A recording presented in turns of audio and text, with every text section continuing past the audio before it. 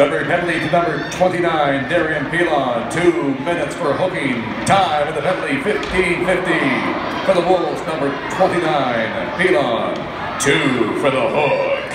At 15-50, this Pete's Power Play, fueled by Kelly's Fuel.